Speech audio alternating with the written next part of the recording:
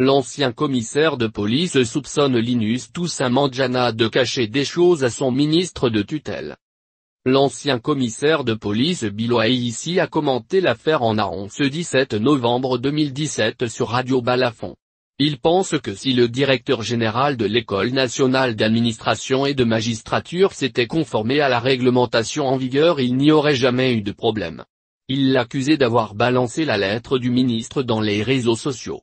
Pour celui qui est devenu journaliste manifestement le directeur général de l'Anaron est ivre de pouvoir. Le directeur de publication du journal Nouvelle Afrique relève que dans le bras de fer qu'il oppose à Linus Toussaint Mandjana, le ministre de la fonction publique et de la réforme administrative Michel-Ange Angouigne a montré qu'il est magistrat hors hiérarchie qui s'y connaît en matière de droit. Car explique-t-il, pour la publication, le ministre doit donner son OC.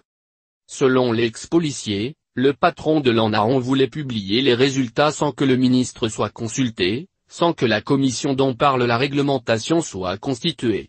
Il se demande alors s'il n'agit pas de la sorte pour avoir mis sa part dans les admissibilités et ne voulant pas que le ministre qui a un droit de regard le sache. Biloy ici croit également que son zèle est dû à sa proximité avec le président de la République Paul Biya. Il dit qu'il est le beau-frère du président de la République. Il l'a même dit comme ça en clair au ministre, qu'il n'a rien à faire il est le beau-frère du président. Pourtant, notre confrère pense que le chef de l'État camerounais ne serait pas prêt à valider pareil comportement. Le président étant un légaliste, il ne peut pas permettre à quelqu'un de violer impunément la loi et c'est pour cela que le ministre a eu raison de faire valoir son autorité en annulant les résultats publiés par monsieur le ministre.